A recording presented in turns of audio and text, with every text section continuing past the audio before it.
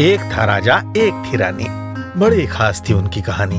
I knew it. मेहनत रानी की यूँ रंग लाई दौलत से बढ़कर शोहरत कमाई। Let's celebrate. बिरयानी मंगाए मंगाइए लेकिन कोई भी बिरयानी नहीं। क्षमा जलाई महफिल जमाई।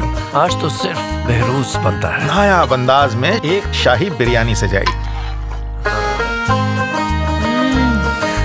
कुछ पल सिर्फ़ बहरूज से खास बनते हैं।